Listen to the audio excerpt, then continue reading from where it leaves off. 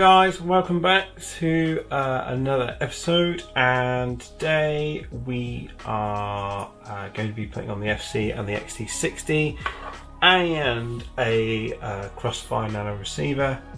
Um, but as you can see from last time, last time I left you I showed you how to do one motor and obviously since then I've done uh, the other three. Uh, so you can see here that we have three and what I did also do uh, with the FC that we're going to be using today, uh, which is the Aikon one, there is uh, a wiring harness for the AC which I put in here. I just routed it underneath and left it poking out the back here. But to start with today, what we're going to do is get our XT60 on here.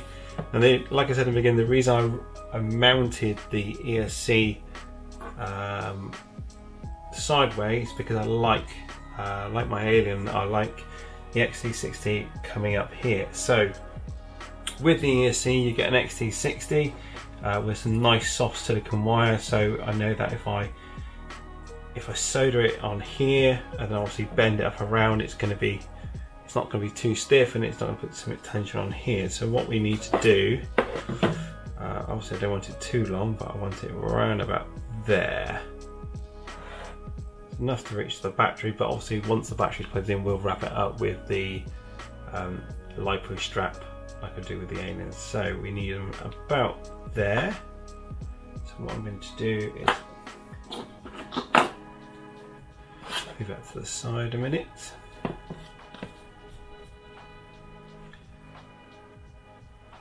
Cut these. One.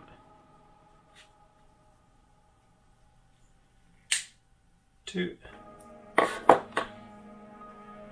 and what we need to do is obviously tin them as well. Uh, get them ready for, as normal as I do, just roll them around. My Stanley. Oh, my phone goes off.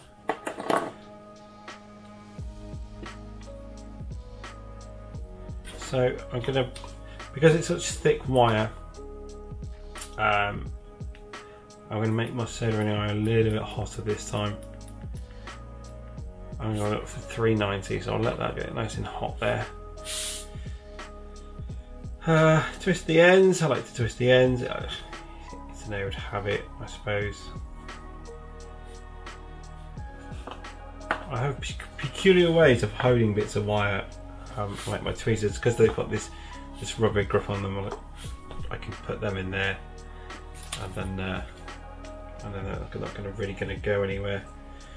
Um, and I can use that to hold the wire whilst I'm in it. It's going to be solder out. Okay, let's clean off the soldering iron. To temperature. So a nice bit of solder there.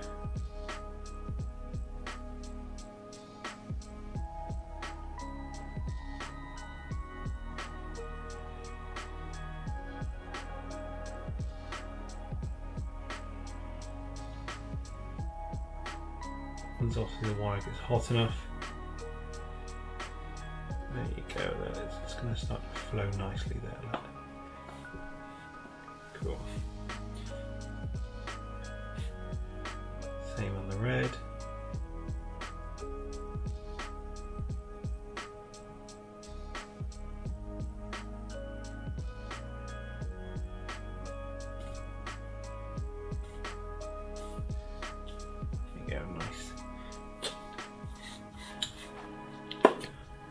Big blobsticles.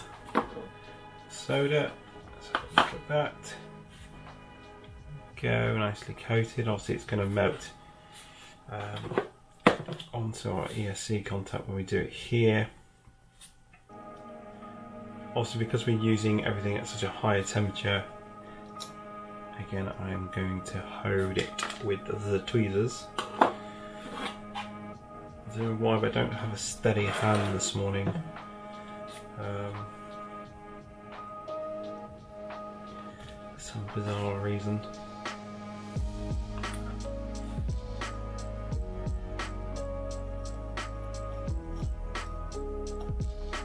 Keep that pressed on there.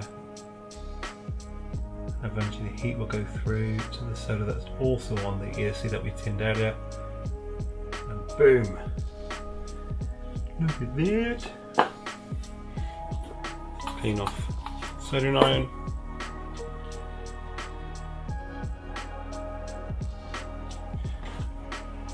Just got a solder behind there and the same this side. Don't have to push down too hard on it, just enough.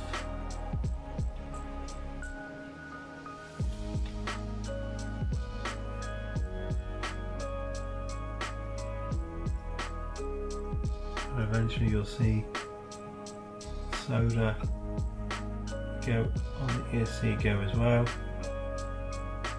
Away. Boom! I don't actually need my soldering iron that hot anymore, so let's turn it back down. I'm gonna go 340. There you go. That to cool for a second. Then obviously there. Bash on top. We can bend that up around.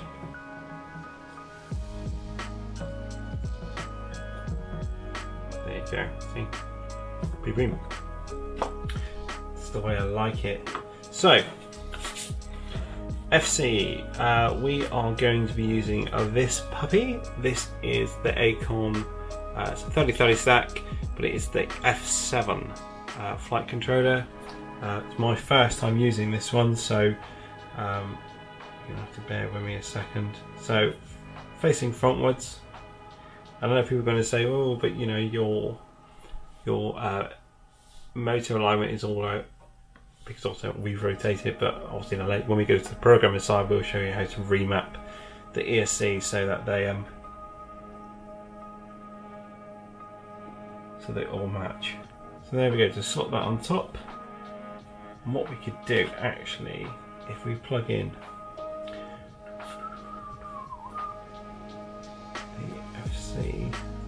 give it a couple of twists. So you got slack on the wire there Go. and then plonk that on top. FC on, and obviously, I mean, I'll secure it. I secured the ESC down. Obviously, it's rubber mounted anyway, with a couple of nylon uh, nuts. I'll do the same afterwards um, with the FC, but um, I can see it's very low profile in there. But just look through it, make sure it's not touching anything at all. All right. Uh, right, so what we're going to need to do, uh, we are going to, I've already prepared the crossfire, I'll see, we'll do a different video for the crossfire receiver, but I've already prepared it. So what I've done here is uh, crossfire receiver, obviously an Immortal T on it. We've got our uh, a ground, a live, and our two signal wires here, RX and TX. Now this one I've actually soldered in here into channel 3 and this one is going to connect directly to my Unify Pro because I'm going to use the Crossfire protocol to change my VTX channel. Um, so this is the smart audio cable to the Unify Pro which will be in the next video where we do the VTX and the camera. Um, but for the time being we'll ignore this one but we're only interested in these four here. So I've cut them, I've soldered them, and they're all prepared ready to solder onto the FC. One thing we need to do is uh, prepare the pads on the FC itself. So we need to put some solder on them now. 5 volt on the crossfire is what we need. Um, from what I understand, um, looking here, the first pin at the bottom here, I need a pointer. Okay, so this pad here is our ground. There's our 3.3, there's our 5. So I'm going to use the 5 and the ground. Now being an F7, it doesn't matter where you on what on where you put your uh, receiver as regards to the UART because unlike an F4 some of them inverted some of them not so it'll only work in some places on an F7 it doesn't really matter it just deals with it um, and this thing is crazy full of UART so we are going to use the ground, the live, and I'm going to put my receiver on. Hmm, eeny, meeny, miny, mo. Uh, UART 2. So UART 2, RX2, TX2 those two there. So I need to prepare those four pads. So let's grab our soldering iron. Make sure it's nice and clean. I mean, you can do it if you want to do this off the quad. It's completely up to you. Some people like to. Um, Prefer do it in place. There's a ground. There's a live.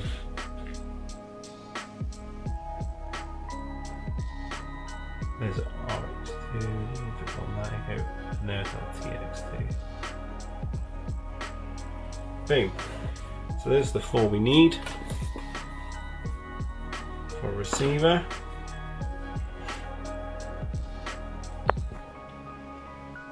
Okay so let's get this receiver soldered in. I'm going to turn it around a second here so you can see what's going on. Where's my tweezers? And there goes my phone again. Love my phone. Right, so let's get solder on the soldering iron. Okay, so the ground is first ground wire straight there.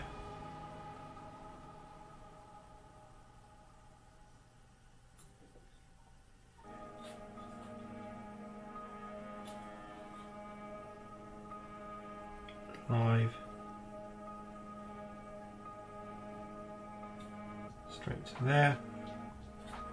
Uh, as far as channel 1 and channel 2 is, is uh, concerned for the receiver, um, it really doesn't matter which way you get them around um, because the crossfire itself is completely remappable. So if you've soldered them the wrong way around, so TX to TX and RX to RX, um, you can just go into the receiver and change them around.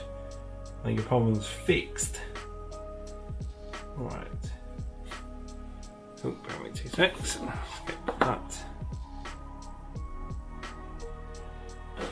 Separate them a bit.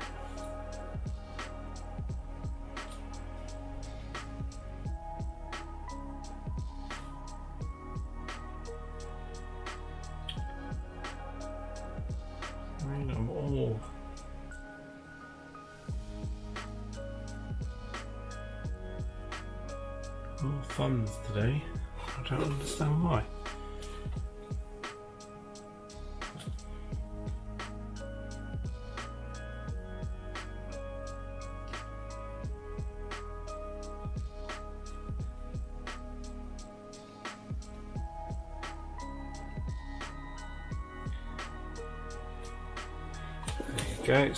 That one in.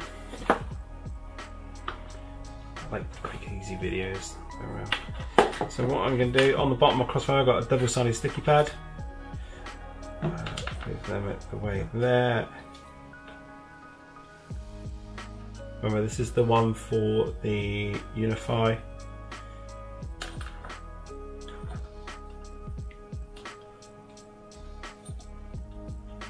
what I'm going to do, I'm going to stick crossfire there at the back of the way. It's a shame that the FC isn't um, black because I was kind of going for that whole kind of stealthy uh, look on this build because everything else needs to be very dark. Uh, right, there you go. Stick that down there, nice and accessible. If you want to put a cable tie around it, you can. Um, and then for my Immortal T, it's personal preference where you like to mount it. Personally, i have always put mine um, out on the arm. Um, some people say it's exposed to being knocked and stuff, but meh. That's where I like to put it. Um, and what I like to do, um, of course, everything you see here you can get on the website. Um, so the, I put a cable tie underneath the motor wires on that arm. Slide it underneath, like so.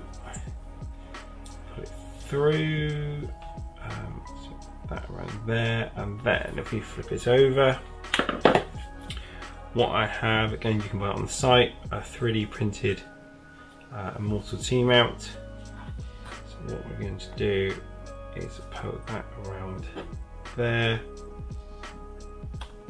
Now these slide over the top of there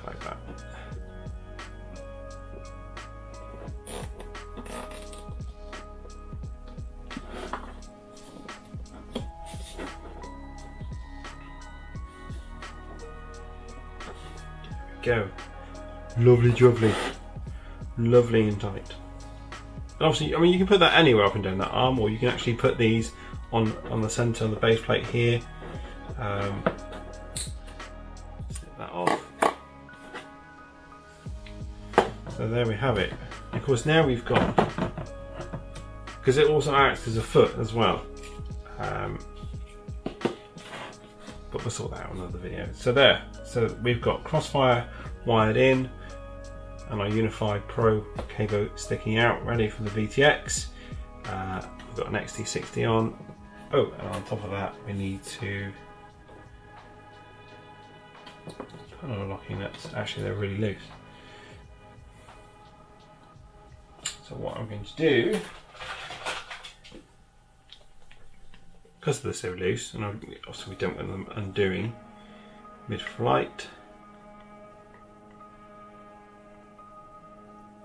This is thread lock.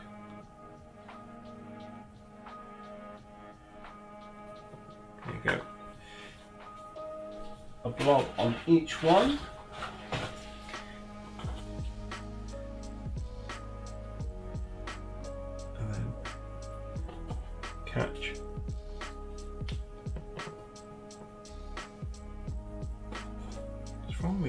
All thumbs.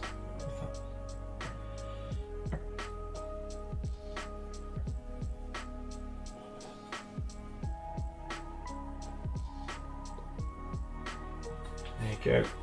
Grab our tool, which I seem to have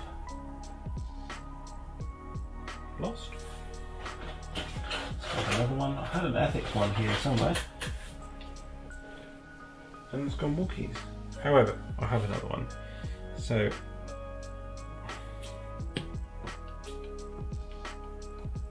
just knit them down just so they touch the soft mounts. A little bit of pressure, nothing you don't want to go mad and start squashing these things because obviously they're just not going to do their job as. But yeah, once that uh, thread lock dries, they are not coming undone. So there we go, that's it for today. Uh, on top of that, so we had a nice red light today. Um, so to tomorrow we're going to be doing the camera itself uh, and the camera mount on the front um, and then we've got the antenna mount and the VTX to do and we're pretty much all there. Um, but yeah, if you missed any of the previous episodes, obviously um, they'll all be listed in the links in below. But um, until then, happy flying.